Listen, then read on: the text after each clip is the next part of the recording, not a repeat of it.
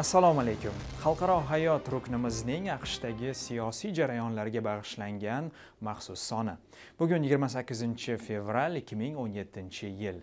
Vashingtondagi studiyamizda men shohruh hamro yaqinda ta'tildan qaytgan kongress a'zolari o'z shtatlarida fuqarolar arzi va g'azabi bilan yuzlashdi. Tibbiy sug'urta tizimida kutilayotgan o'zgarishlar hamda immigratsiya bobida qilingan qarorlarni prezident tushuntirsin bizga deya talab qilmoqda ular. Arizona shtatidagi manzaraga nazar tashlasak. Ular o'zlarini bo'linmas deb ataydi. Respublikachi senatorlar jeff fleyk va jon makkeynning idorasi qarshisida namoyish. Inauguratsiyadan beri har seshanba trampga qarshilik kuni o'tkazilmoqda. Qonunchilar trampga eslatib qo'ysin u ijrochi direktor emas aqsh prezidenti axir deydi mayk jonson respublikachi senatorlar fuqarolar bilan yuzma yuz muloqotlarni bekor qilar ekan namoyishchilar ularning idoralariga kirib boradi bo'linmas harakati a'zolari sug'urta rossiyaning amerikadagi saylovlarga aralashuvi haqidagi savollarini qog'ozga tushirib qoldiradi. Demokrat faollardan tashkil topgan yangi harakat 2010 yilda prezident barak obamaning siyosatiga qarshi chiqqan choychilar harakatini eslatadi. Choychilar respublikachilarni kongressda ko'pchilikka aylantirgan kuch edi.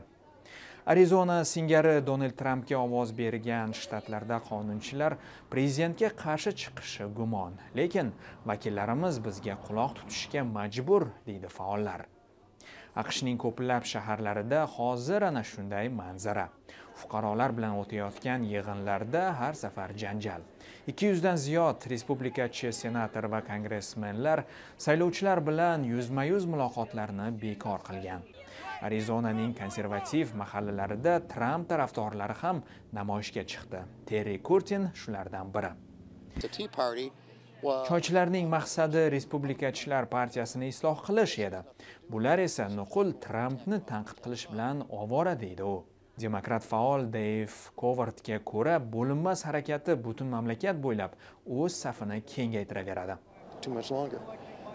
Rahbarlar bizning talablarimizga ko'z yuma olmaydi. Tramp siyosatida norozilik kuchli. Buni qonunchilarga har kuni eslatamiz deydi u. Oq uy namoyishlar va chiqishlar bilan hisoblashmoqchi emas ularni liberal guruhlar ataylab uyushtirmoqda deydi prezident donald tramp bugun kongressning har ikki palatasi oldida nutq so'zlaydi. Davlatning bugungi ahvoli haqida hisobot berish prezidentlar uchun azaliy an'ana. Biz albatta kongressdagi chiqishni saytimizda va ijtimoiy tarmoqlardagi sahifalarimizda batafsil yoritamiz. Kuzatib boring. Vashingtondagi studiyamizdan men shohruh hamroh. Salomat bo'ling.